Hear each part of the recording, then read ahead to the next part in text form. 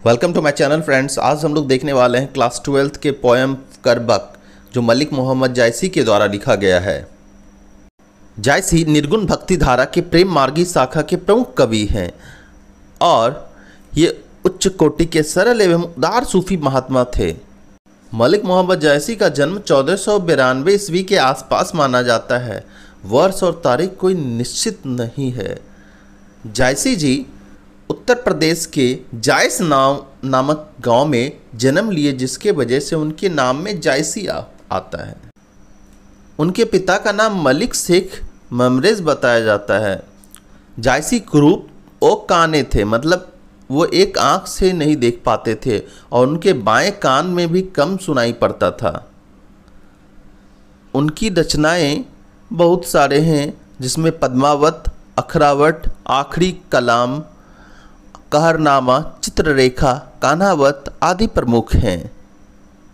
जायसे की मृत्यु 1548 के करीब हुई और यह स्वर्ग को सिधार गए। स्टूडेंट्स तो चलिए पोएम शुरू करते हैं। इसमें हर लाइन का आपको समरी दे दिया गया है, जिससे कि आप एग्ज़ाम में लिख पाएँ। तो पहला लाइन से स्टार्ट करते हैं।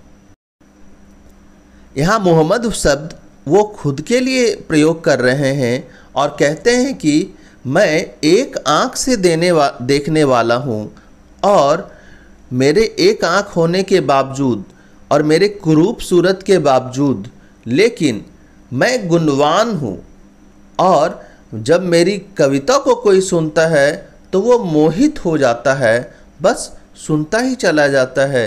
इसी वजह से आँख एक होना महत्वपूर्ण नहीं है, गुण महत्वपूर्ण होता है।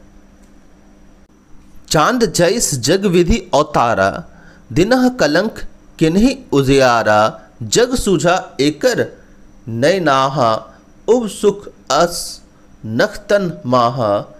इस पंक्ति में, जो कि पद्मावत उनकी महान काव्य से लिया गया है, इसमें वो कहते हैं कि वो भगवान ने उन्हें चाँद की तरह इस धरती पर लाया, लेकिन चाँद की तरह उनमें भी कुछ धब्बे कलंक या धब्बा दे दिया, कमियाँ दे दी, लेकिन उनके काव्य किसी चाँद की तरह पूरे जगह को रोशन कर रहा है। जिस तरह से शुक्र अपने आस पास के सभी के सभी नक्षत्रों को रोशनी देता है, उसी तरह से इनके काव्य सभी को रोशनी दे रही है, इनकी काव्य सबको प्रेरणा दे रही है। जो लही अम्ब ही डाव न होई तो लही सुगंध बसाई न सोई। इस लाइन में कवि कहते हैं कि, कवि कहते हैं, जब तक आम के पेड़ में नुकीली मंजर नहीं आती है, तब तक आम के पेड़ में सुगंध नहीं आता है। मतलब क्रूपता या ये जो कमियाँ हैं, ये कमियाँ उसको और खूबसूरत बनाती हैं, क्योंकि आम के पेड़ में जब तक वो नुकीला मंजर नहीं आएगा, तब तक उसमें सुगंध नहीं आ सकता है। किन्ह समुद्र, पानी जो खारा तो अति भय, असुच अपारा। इस पंक्ति में कवि कहते हैं कि समुद्र का पानी खारा होता है। इसीलिए वह संपूर्ण संसार में व्याप्त है। वह बहुत ज़्यादा है, बहुत बड़ी संख्या में है। उसमें भी एक कमी है, लेकिन इस कमी के वजह से ही उसका बहुत विशाल जगह में फैलाव है और यह कमी उसके लिए फ़ायदेमंद भी है। आगे कवि कहते हैं, जो सिमेरु त्रिशूल बिनासा भाग कंचन गिरी आग अकाशा। मतलब सुमेरु पर्वत पर जब तक त्रिशूल से उसे वार करके तोड़ा नहीं गया, तब तक वह सोना का नहीं बन पाया। अर्थात किसी भी चीज़ को खूबसूरत होने के लिए उसमें थोड़े ना थोड़े परेशानियों को झेलना पड़ता है या कोई ना कोई परेशानी झेलना पड़ता है। वही बताना चाह रहे हैं कवि। आगे कहते हैं, जो लही घड़ी कलंक ना पड़ा, कांच होई ना कंचन कड़ा। अर्थात जब तक किसी पदार्थ को, कच्चा धातु को किसी सोने के पात्र में रखकर गलाया नहीं जाता है, तब तक वह पूर्ण शुद्ध सोना नहीं बन पाता है। शुद्ध सोना बनने के लिए उसे गलना पड़ेगा, तब वह जाके शुद्ध सोना बनेगा। एक नैन जस दर्पण और ते ही निर्मल वाट सब रूपवंत गाही मुख जैवे कर चाऊ। इसमें जायसी जी कहते हैं कि वह एक आँख के होते हुए भी एकदम किसी दर्पण की तरह निर्बल है, साफ़ हैं।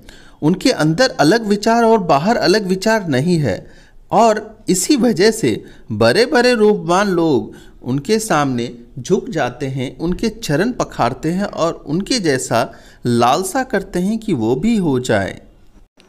मोहम्मद कवि यह जोड़ी सुनावा, सुना जो प्रेम पीर गा पावा, जोड़ी लाए, रक्त के लय गाढ़ी प्रीति, नैन जल भय कवि, इसमें अपने सबसे ज़्यादा प्रसिद्ध महाकाव्य पद्मावत के बारे में कहते हैं कि इस पद्मावत को जिसने भी सुना है, जिससे भी उन्होंने सुनाया है, उन्होंने इसमें प्रेम के पीड़ा को महसूस किया है।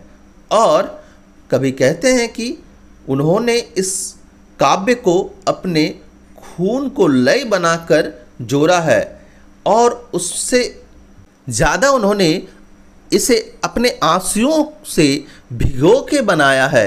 यह कमाल की कीर्ति है, यह कमाल का महाकाव्य है उनका। इसमें सौर्ज का परिचय है, प्रेम का परिचय है मतलब एक संपूर्ण महाकाव्य है यह। अमन जानी कबित अस किन्हा, मक यह रहे जगत मह चिन्हा। कहाँ सो रतन सेन अब राजा, कहाँ सुआ अस बुद्धि उपराजा। कहाँ अलाउद्दीन सुल्ताना, कहाँ रघो जय किन बखाना। कहाँ स्वरूप पदमावती रानी, कोई ना रहा जग रही कहानी। कवि कहते हैं कि पद्मावत जैसे महान महाकाव्य की रचना उसलिए इसीलिए उन्होंने की, क्योंकि जब वो नहीं रहेंगे। मतलब अब जबकि वो नहीं है तो उनकी महान रचना पद्मावत आज भी पढ़ी जाती है, लिखी जाती है और दूसरों के द्वारा प्रशंसा की जाती है। मतलब कि वो रहे ना रहे, पद्मावत आज भी उतनी ही प्रसिद्ध है।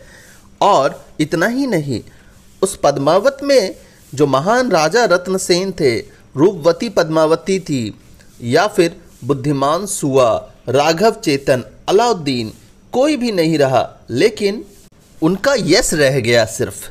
और कुछ नहीं। धानी सोई जस कीर्ति जासु, फूल मरे, पै मरे न बासु। इस पंक्ति के द्वारा कहते हैं, पुरुष धन्य है जिसकी कीर्ति और प्रतिष्ठा इस संसार में है। उसी तरह रह जाती है जिस प्रकार पुष्प के मुरझा जाने पर भी उसका सुगंध रह जाता है। मतलब कि आपकी कीर्ति, आपकी मृत्यु के बाद भी रहती है। इसीलिए अच्छी कीर्ति करते रहनी चाहिए। कई जगत न जस बेचा, कई न लिना मोल, जो यह पढ़ कहानी, हम सवेरे दुई बोल। इस संसार में यश को ना बेचा जा सकता है, ना ही खरीदा जा सकता है। यश एक बहुमूल कीर्ति है, जो किसी के कर्म के बाद फैलती है।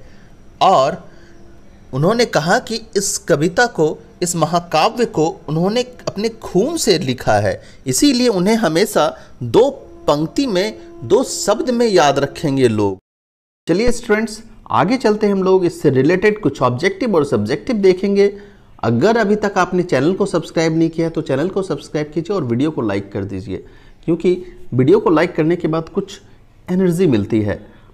तो चलिए स्टार्ट करते हैं।